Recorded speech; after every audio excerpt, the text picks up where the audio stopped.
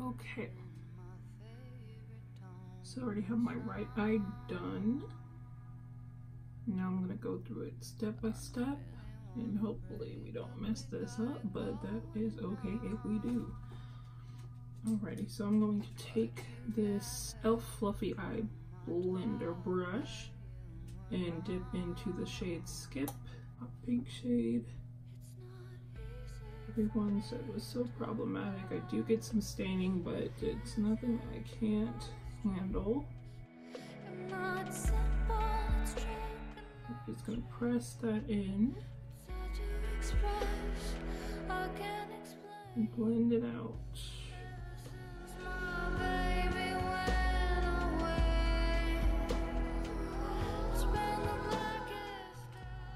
Okay, and next we are going to take the shade Love That, dip into that, and go on with this Morphe brush. This up, but um, Morphe brush that I got in this gold bag, but I know they're like $18 at Ulta. Because I'm going okay.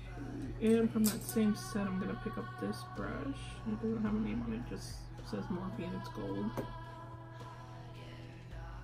Go ahead and put that in the outer corner and kind of bring that in a little bit and go towards the inner corner.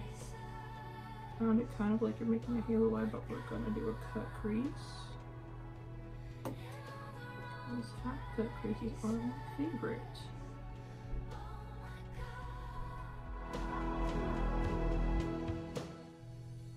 Okay, and that was the shade Single that I just went in. And this shade will be the shade Escape on a similar brush, but this one's a little bit bigger.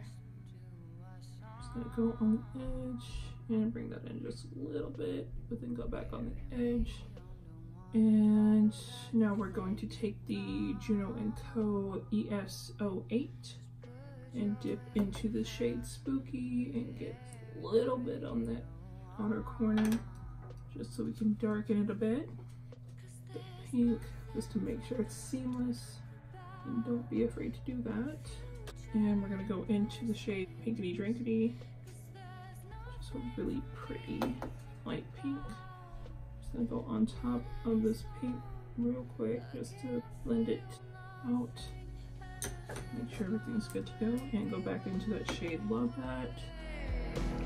Make sure purple's blended with that pink. We're good there. Now we are going to cut the crease. And to cut the crease, I'm gonna go ahead and use the Morphe X Jaclyn Hill brush, the, can't see that, JH42, the little one.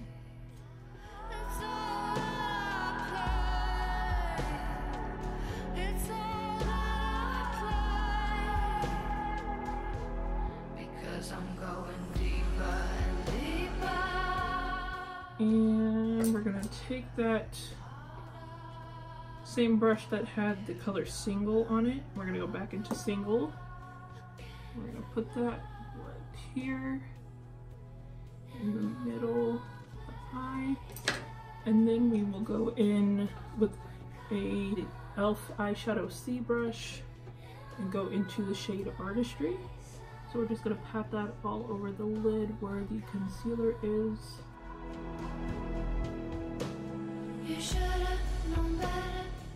Ready, and for under the lash line, what I'm gonna do is I'm gonna take my Juno & Co.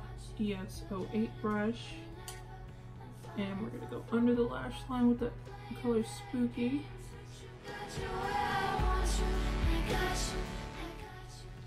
And then we're gonna go back into the color Single for the last time.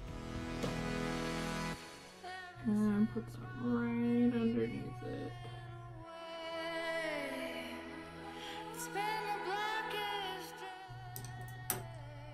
And now for highlighter, the inner corners, I'm gonna go in with my Morphe times Jaclyn Hill JH39 brush. And we're going to dip into our Amrezy highlighter. And just gonna put this in the inner corner. Okay. I really want more highlighter, but I'm not gonna go overboard. Let's just put some on the brow bone real quick because why not?